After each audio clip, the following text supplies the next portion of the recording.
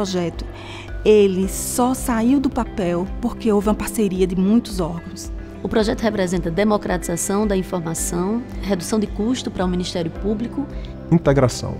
Integrados, juntos nós conseguimos ir mais longe, nós conseguimos ver melhor e ouvir melhor. Integração. Felicidade, reconhecimento. Força, união, coletividade. Transparência e profissionalização. A esperança de dias melhores. Amor ao próximo, amor à sociedade, amor à comunidade, prestação de serviço com eficiência.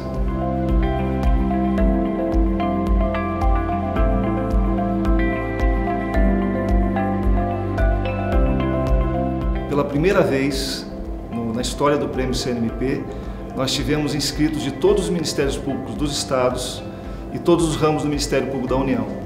Então, nosso banco de projetos atingiu 1.500 projetos cadastrados e nós temos concorrendo ao Prêmio CNMP 2017 cerca em torno de 1.100 projetos. Então, um dia de muita alegria, de muita festa.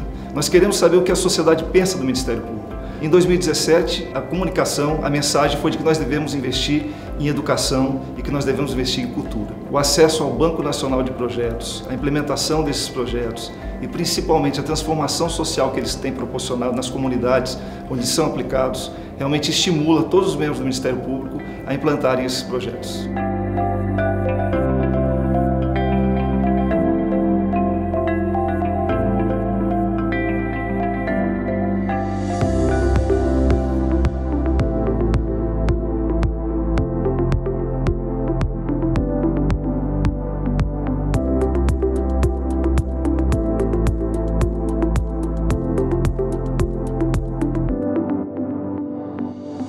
Esse é um verdadeiro plano de vida para o povo Santa Larga. É uma comunidade indígena composta de cerca de 2 mil habitantes e eles é, sofrem todos os tipos de problemas possíveis que as comunidades indígenas no Brasil sofrem. É, nós começamos a trabalhar na causa para tentar tirar os índios da situação em que eles se encontram, reféns da omissão do Estado e acuados pelo crime organizado. E com isso, nós constituímos uma parceria, uma parceria com a sociedade, onde a gente busca o tempo inteiro é, aumentar essa corrente do bem. E essa corrente ela só está crescendo. Né? E quanto mais ela crescer, mais resultados a gente vai alcançar. O prêmio do CNMP vem com esse escopo, com essa finalidade, né? coletivizar boas ações e permitir que pela multiplicação de esforços de pessoas de bem, a gente tenha aí, quem sabe, um país minimamente mais justo, mais solidário, onde as pessoas verdadeiramente se preocupem mais em ajudar o próximo.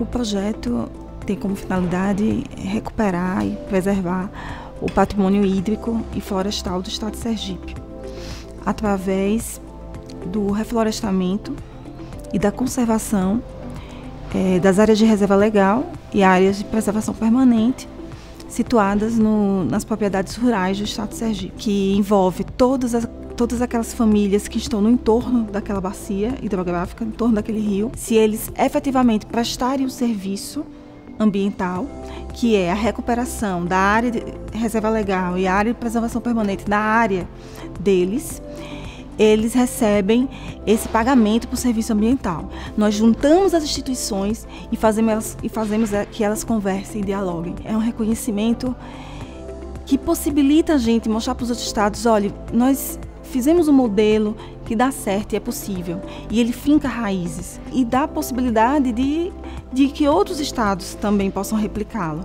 de uma forma muito mais fácil, muito mais célere.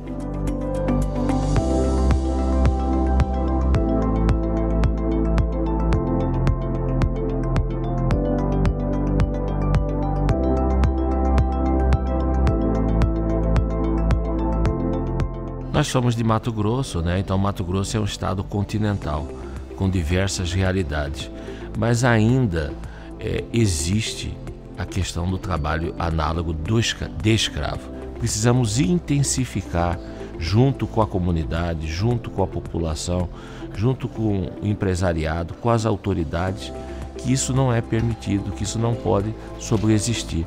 E aí foi construído com a equipe de comunicação é, esse projeto, essa proposta.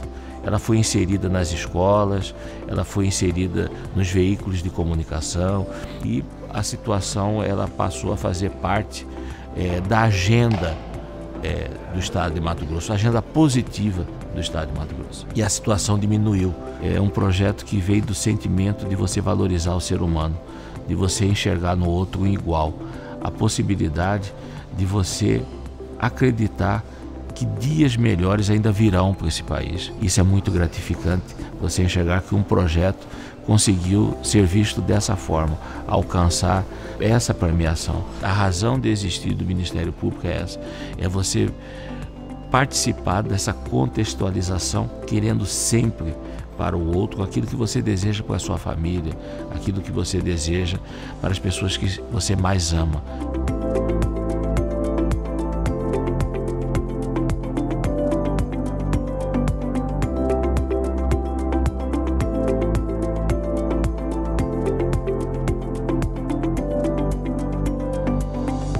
O Acre faz fronteira com dois dos estados maiores produtores de entorpecentes do mundo, né, o Peru e a Bolívia. Esse projeto ele veio como uma, uma reação a, a, essa atuação dessas organizações criminosas. Ele nos permitiu tomar um protagonismo hoje é, no estado do Acre, tanto na difusão de informações estatísticas visando a tomada de decisões estratégicas no campo de segurança pública nós também desenvolvemos ferramentas internas de inteligência, sendo a principal delas a ferramenta Retina. E essa ferramenta ela veio a, a se tornar, na verdade, um instrumento de integração de inteligências. Então, quanto mais nós conseguirmos nos integrar, quanto mais nós conseguirmos nos é, conversar e, e trocar informações de cunho estratégico, com mais eficiência nós realizaremos o, o, o nosso trabalho, né, o, nosso, o nosso encargo social, que é o combate à criminalidade. O reconhecimento do Conselho Nacional, né, através dessa premiação, dá visibilidade às boas práticas né, do, do, de todos os ramos do Ministério Público, é, no sentido de que, de que possamos né, conhecer aquilo que os, que, os, que os demais colegas estão fazendo também de bom e replicar nos nossos estados.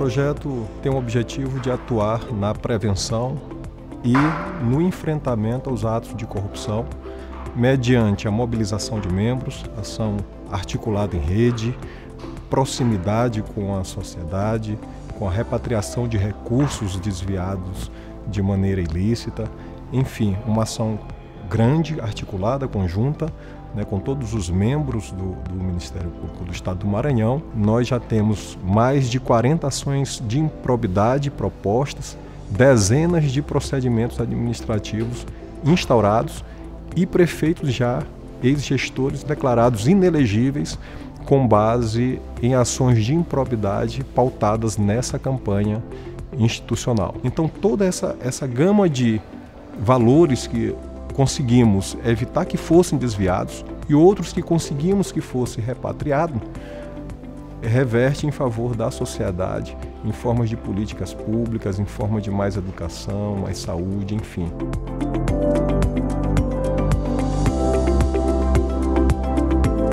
O projeto ele é fruto desse, desse trabalho integrado de membros, servidores, promotores e procuradores de justiça, imbuídos nesse objetivo comum de enfrentar, de prevenir, de combater esse mal, essa chaga, esse cupim que corrói a nossa república e que tanto mal traz ao, povo brasileiro para que a criança, desde pequena, ela aprenda que a responsabilidade de um país melhor, de uma sociedade melhor, passa também pela conduta individual de cada um de nós.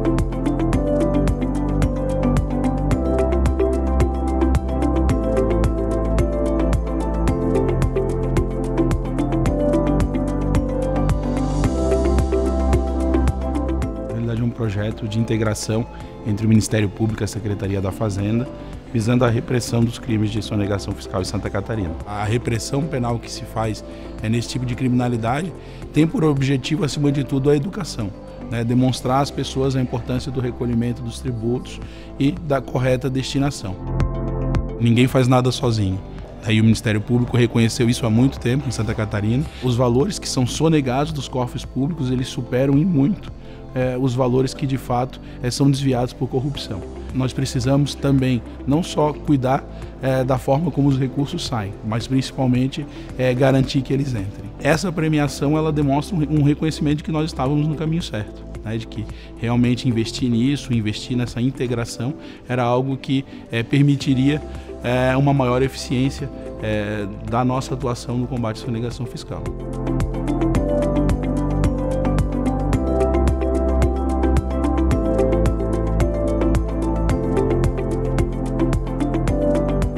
Combate ao trabalho infantil é uma das metas prioritárias de atuação do Ministério Público do Trabalho. E nesse sentido, a gente já vem há algum tempo trabalhando e pensando na capacitação, na formação e aperfeiçoamento dos conselheiros tutelares, né, que são atores da rede de proteção fundamentais para a atuação do Ministério Público. Então pensamos nessa possibilidade de, de construir um curso à distância né, que tivesse um bom conteúdo, né, uma boa forma de diálogo, com uma plataforma interativa né, que foi possível de ser realizado através da Escola Superior do Ministério Público da União. É um projeto que fortalece a rede de proteção, né, porque você consegue estabelecer um diálogo melhor com todos esses atores diferentes, nas suas diferentes atribuições. Eu acho que esse prêmio é um reconhecimento de uma atuação de todos os membros do Ministério Público do Trabalho, de todos os integrantes da Escola Superior do Ministério Público da União, é, de todos os órgãos parceiros que atuam é, juntamente com o MPT, né, principalmente a Escola Cidade Aprendiz, que é parceira neste projeto específico. Então, é, é um reconhecimento de um trabalho coletivo.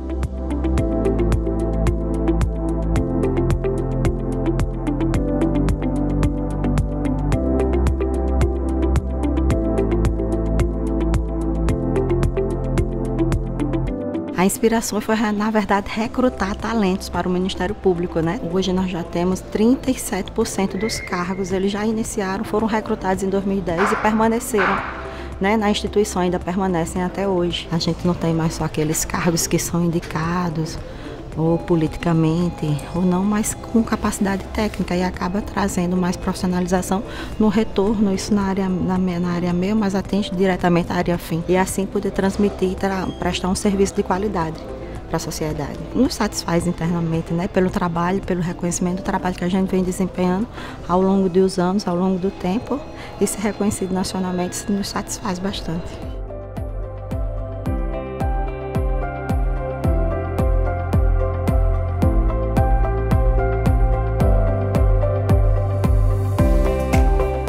Projeto é uma ferramenta de web que democratiza o acesso à base investigativa do Ministério Público a todos os membros e assessores da instituição, de forma a facilitar as suas investigações, a produzir gráficos, a realizar cruzamentos, ajudar na análise de vínculos dos investigados. Isso ajuda no seu trabalho, portanto, a, o resultado das, do, das, suas investigações, o resultado é, do trabalho que cada promotor desenvolve nas mais diferentes tutelas é otimizado. O crescimento que se espera agora é consolidar mais informações, atualização constante da base de dados e aumento dessas funcionalidades. Para nós é uma grande alegria e a equipe da TI do GAECO está de parabéns.